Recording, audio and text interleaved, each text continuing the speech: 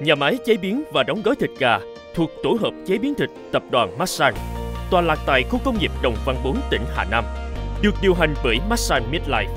Nhà máy đi vào hoạt động từ tháng 2 năm 2022 với niềm tự hào là một trong những mắt xích quan trọng của Masan Midlife trong chuỗi sứ mệnh mang đến nguồn đạm động vật tươi ngon, dinh dưỡng với giá cả hợp lý cho mỗi và mọi bữa ăn gia đình Việt.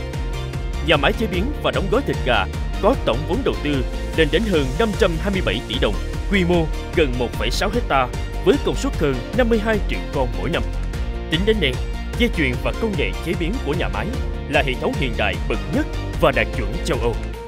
Nghiêm ngặt từ khâu kiểm tra chất lượng đầu vào, chỉ những con gà khỏe mạnh đạt tiêu chuẩn chăn nuôi và kiểm định thú y mới được phép tiến hành giết mổ. Hệ thống giết mổ của nhà máy chế biến và đóng gói thịt gà hoạt động đáp ứng đầy đủ các tiêu chuẩn khắc khe, đạt giấy chứng nhận cơ sở, đủ điều kiện an toàn thực phẩm và giấy chứng nhận vệ sinh thú y. Kết hợp cùng dây chuyền giết mổ từ Marel, công ty hàng đầu thế giới về thiết bị chế biến thịt do Hà Lan cung cấp và lắp đặt. Điểm nổi bật của nhà máy chế biến và đóng gói thịt gà là áp dụng công nghệ thịt mát EQ hiện đại bậc nhất châu Âu, giúp làm mát tâm thịt, đạt đến nhiệt độ từ 0 tới 4 độ C. Song song, nhà máy có dây chuyền pha lốc tự động để tách các phần cơ bản của thịt gà như cánh, thân và đùi trước khi được cắt hoặc phi lê thành từng miếng vừa ăn.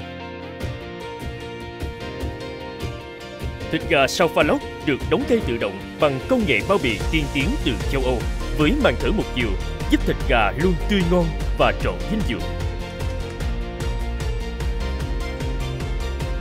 Từng sản phẩm gà tươi Mid Daily đều phải trải qua quy trình kiểm tra nghiêm ngặt trong toàn bộ dây chuyền sản xuất để trở thành những sản phẩm chất lượng trong bữa ăn của triệu gia đình Việt.